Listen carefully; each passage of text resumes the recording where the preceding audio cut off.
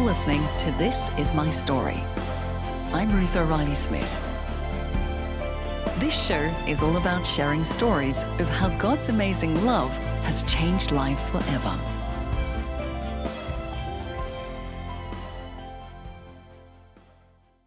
Today's episode is with Warren and Dee Furman. Warren, also known as Ace, from the popular 90s TV show Gladiators. After a high profile career where he spent years in the celebrity spotlight, Warren realized that having everything he thought he wanted wasn't all it was cracked up to be. His story begins as a young boy in a humble working class upbringing. Dad was probably the most honest man I'd, uh, I'd met and the most hardworking. And I used to see that life would chew him up and spit him out. You know, he'd give people what they didn't deserve. He had no faith when my brother died, mum and dad said, well, there can't be a God. If there was, you know, your, your brother wouldn't have died. And so, you know, he come up with these other sayings because life didn't obviously wasn't making a lot of sense to him. Um, and so he'd say stuff like, you know, skills pay the bills and, you know, work hard, play hard. And um, like I say, he was the hardest working uh, person I ever, I ever saw, really. Um, but we was always without. And so I saw a lot of our problems, a lot of mum and dad's arguments were from the fact that we didn't have enough money. I, I saw mum and dad living for the weekend, really. We could see that they were becoming a sum of their choices. You know, mum and dad both smoked. It was it was cool to smoke at that time. I think a lot of the dangers weren't known, and um, and they saw, you know, they it was like the Titanic. We could see they were heading for an iceberg. As a teenage boy, Warren was dreaming of a better life, a life where he didn't just get by. He saw a potential route to fame and fortune, following in the footsteps of his idols you look at the big celebrities now, the people that are winning in today's contemporary consumer culture, they're, they're the winners. They're bigger, better, faster, stronger. Look at The Rock, look at Vin Diesel, look at these people. And so in my years, you know, it was Arnold Schwarzenegger, no different than a celebrity culture.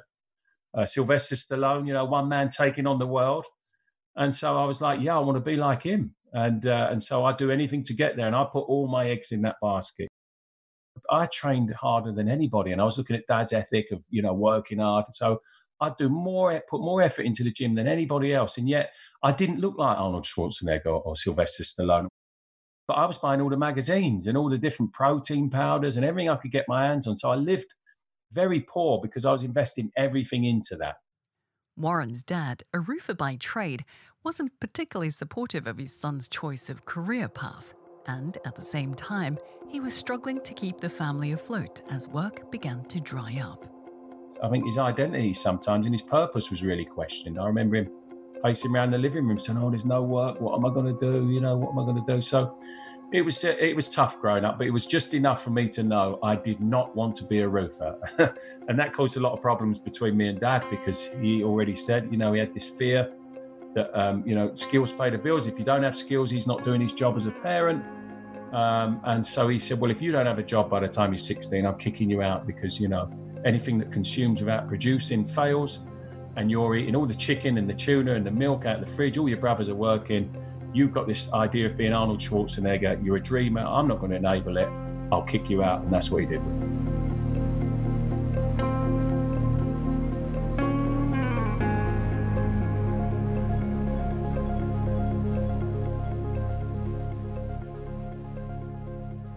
Now homeless, Warren was given a place to stay at the local YWCA. It was here that he began to question his dreams of being a bodybuilder. And this identity crisis would lead him to make some pretty significant decisions. Once I found myself living in the YWCA, I was a bit like, actually, Dad's right. I've got no chance of being a superstar. I look nothing like my idols. My brothers are working now and they've got nice clothes and they're going places. And I'm really homeless uh, and I'm a dreamer. And I remember going to the gym a bit broken down, and one of the guys in there was quite a big guy. I, I said to him, you know, um, I'm starting to think that there's not a future for me in bodybuilding. And he said to me, um, you're one of the most, you know, uh, uh, uh, uh disciplined people in this gym, and actually you have good genetics. You could go a long way. I said, I've trained harder than anyone. So how does that happen? He said, What are you taking? I was like, What are you talking about? What am I taking? You know, I'm like vitamin B, creatine, and he's like, No, no, what steroids? You must be taking steroids to look like that. And I said, No. And he said, Well, if you haven't taken steroids to this point, if you take steroids now, you will look phenomenal. You know, you're not going to make the big money like your movie stars are making unless you make yourself different to everybody. You know, society celebrates individuality, being bigger, better, faster, and stronger than everybody else. Yes, I had to go into the murky world of um, self administration of anabolic steroids.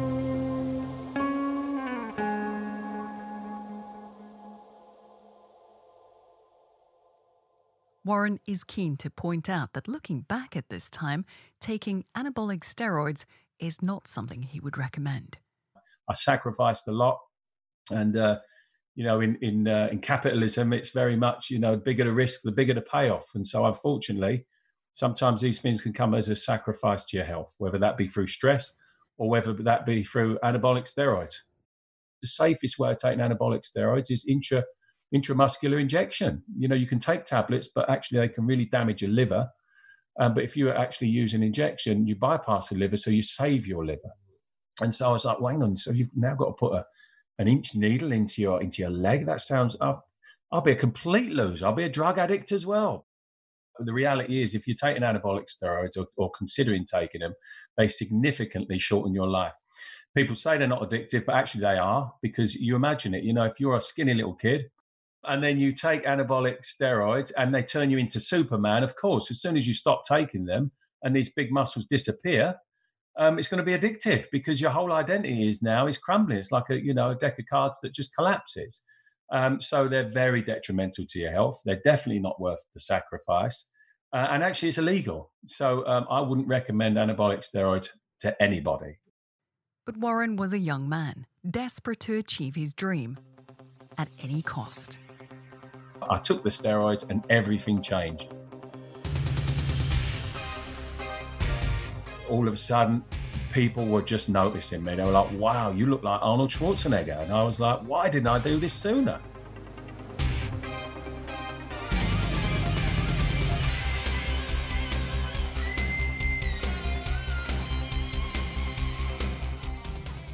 Time in the early 90s, the TV show Gladiators was primetime Saturday night viewing.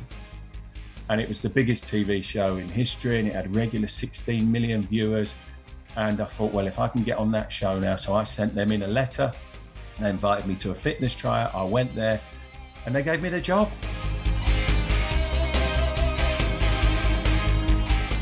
A limousine picked me up from the uh, YWCA and it took me to Heathrow Airport, and uh, and I met all the gladiators who were big stars at the time, like Jet and Wolf.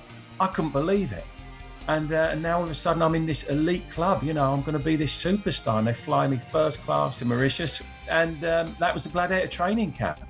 And with that, Warren became ace. So overnight, I went from having nothing to having everything. I was a bit like at the time, I was like, wow, if there is a God, he must love me. I mean, who gets opportunities like this? This is incredible. Every day I had to pinch myself.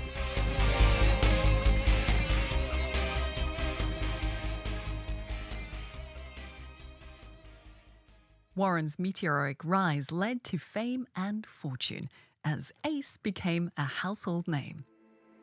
This led to an opportunity to have an important conversation with his father. He was sort of humbled, really, and he was like, "Oh, do you know what? Do you know what, uh, Warren? I was wrong. You were right. You've had this dream, you had a passion, you followed it with all your heart, and it's paid off. You can earn more, you know, in a in, in a day than I can earn in a month, and uh, you know, you're clearly a success." He says, I, "I've only got to mention that my son is a gladiator, and and uh, I'm getting roofing work." You know, he said, and uh, you know, people are seeing me as a success. So I'm, you know, I'm sorry. I, I, you know, I gave you the wrong advice. You ignored it. It was a bone of contention between us, but I made a mistake.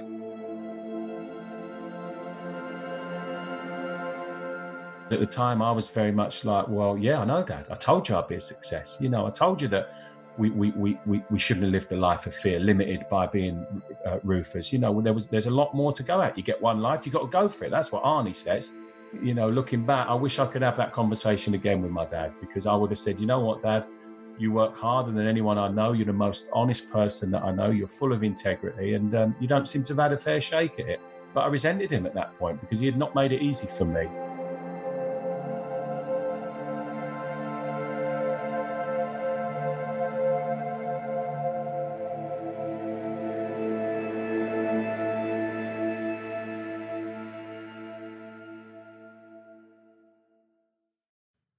Over time, Warren began to buy into his own hype, but it didn't take long for him to realize that being a celebrity was not what he thought it would be.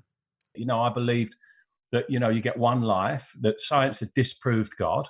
And therefore, you know, if you're lucky to get 70, 80 years, like Arnold Schwarzenegger says, you want to live rich and live well and have abundance. Um, and so, you know, I bought right into that you know, a lot of people die trying. You know, it's like if I get rich and famous, if I get the holidays I want, or the partner I want, or the wealth I want, or the position I want, then I'll be happy. But actually, um, I learned through experience that that's false. Money and fame, it divides you. Actually, it, you know, you live in more fear than you did before because you, you know, you, you go up this ladder and you don't want to slide back down it. And I found that this wealth and this celebrity separated me from people. And um, I was acutely aware that my real relationships, you know, my loving relationships with family and friends, even they were jeopardized in it because I was becoming conceited. I started to believe the hype. You know, I was becoming like, well, you know, if everyone says I'm a I'm a star and uh, you know and I'm ace and I'm leader of the pack then I must be and so I become very self-righteous and so I knew that something was going wrong when you get into celebrity culture and it's all red carpets and glitter and glamour, and you're part of that and you realize actually it's not what it says it is. Show business is a business, and uh, there's a lot of backstabbing, there's a lot of lies, there's a lot of people pretending to be what they're not. Uh, and it was very, I didn't see many people who weren't corrupted by the fame and the fortune.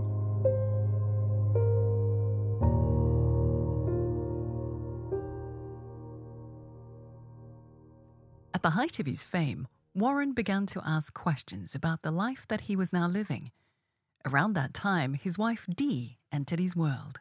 In all honesty, we met on a, a, a drunken night out. There was nothing, I beg your pardon. There was nothing glamorous about it, really. I took uh, you to the VIP lounge. What are you talking about? but yeah, that's what it was. It was a kind of a drunken night out. I didn't know who he was because I was in a job where I um, I worked for Virgin Atlantic, and so my I never watched telly regularly, so I didn't actually know who he was. He asked me on a date, and uh, we were going on this date the next day. And he said what he'd said to me was that he was working at the local theatre, and I didn't really realise in what capacity. And I remember driving past the theatre and looking up, and there was this huge, massive poster of him. He was in his gladiator costume or whatever on this poster. And that sealed the deal. That, that was him from last night. Anyway, that night when I was going to meet him, I remember I got really embarrassed. I couldn't actually look him in the eye, and I wore this cap because I couldn't look up because I, I, I, I kind of was a bit like, oh, okay, so he's somebody. Um, so yeah, that was kind of our our first official date. As Warren spent more time with Dee, there was something about the way she lived her life that only made him question things further. So the first thing that attracted me to Dee was her, look. She's beautiful, but I, as I got to know her, I saw an integrity that I hadn't really seen before. And there was like a, a, you know a morality and an integrity about her where she she'd forgive people and these and these things. And I've been in show business so long and I had such a hard heart, you know, and I'd been in the glitz and the glamour. And the word amazing is such a superfluous word. This is amazing. That's amazing. And in the end, you know, when everything's amazing, nothing is.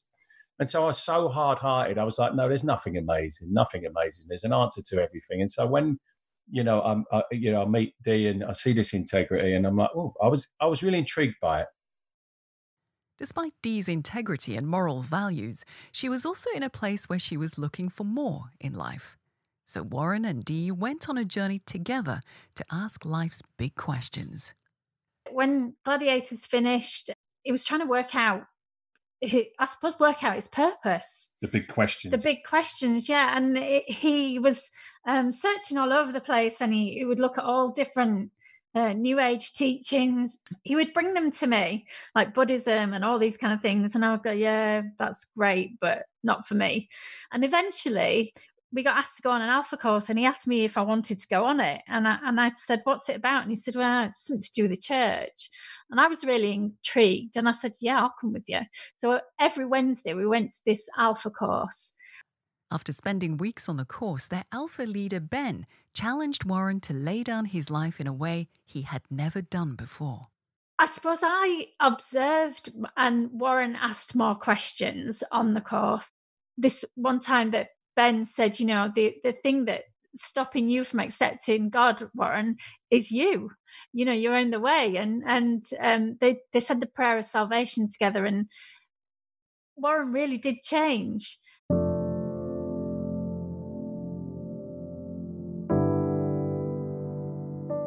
For the first time, I experienced a freedom, a liberation, joy, actually. You know, I'd had happiness before, but my happiness depended on things happening that were conducive, that were good for me.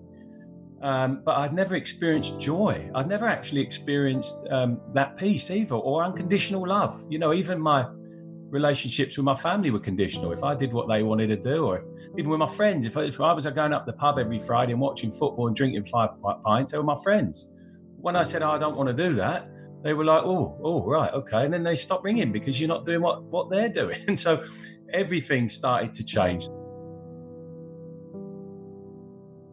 I started to get an integrity that I didn't have before. And I, I, realized now that was an infilling of the Holy Spirit. I was always out to get. And suddenly life became about giving. And, you know, all these divine paradoxes, like it's more blessed to give than to receive, you know, that's complete contradictory to what the world and our culture says. It says about getting and proving yourself. Now, all of a sudden, you know, you're giving and, uh, and you're giving something back, but not trying to be a good person. You know, I was was still selfish. I wasn't thinking, oh, I need to give back because I need to earn it. I need to be a good person. This wasn't religion. This was the reality of a relationship. After I'd invited Jesus into my life, the Bible started to make sense. You know, I could open up the Bible um, and I could see it was a living word, you know, this inspired words of God. And so, you know, I suddenly have this this um, uh, uh, this manual that's all wisdom gone down through generations, guiding my life.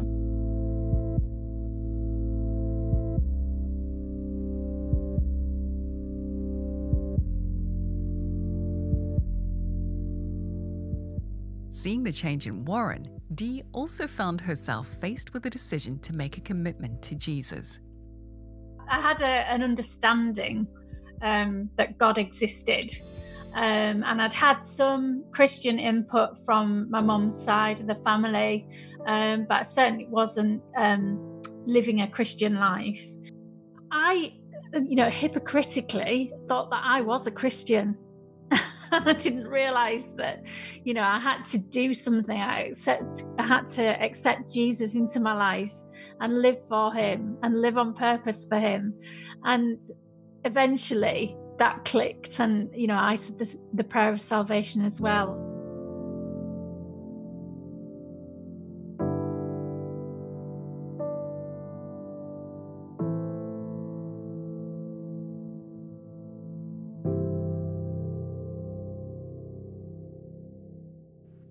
Warren and Dee have since gone on to dedicate their lives to ministry.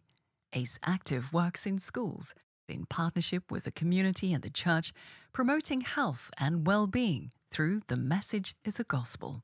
What we essentially we do, we kind of bridge the gap between um, communities, societies, and church. So we we will do anything like going to schools. We do church missions. We have um, a lot of equipment, very similar to some of the sort of gladiator fun equipment. And we'll do, you know, family fun days with a gospel message. And we try to bridge that gap. And, you know, a lot of people think Christianity is boring. And we try to show that it's not boring. We reach out into the community, you know, in places where maybe the church can't reach. We'll bridge that gap essentially.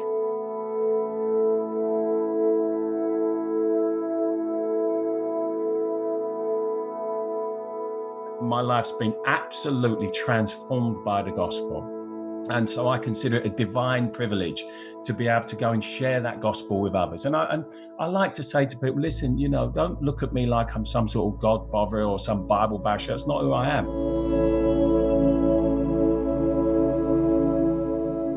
God has a plan on your life. He has created you uniquely as you are. And I think if we buy into any contemporary lies from our celebrity culture that we're not good enough, we're already on a spurious uh, path that's going to lead us into uh, dangerous places. God doesn't force himself on people because he's unconditional love. He's give you the gift of life, but he's got another gift for you, eternal life should you want to take it.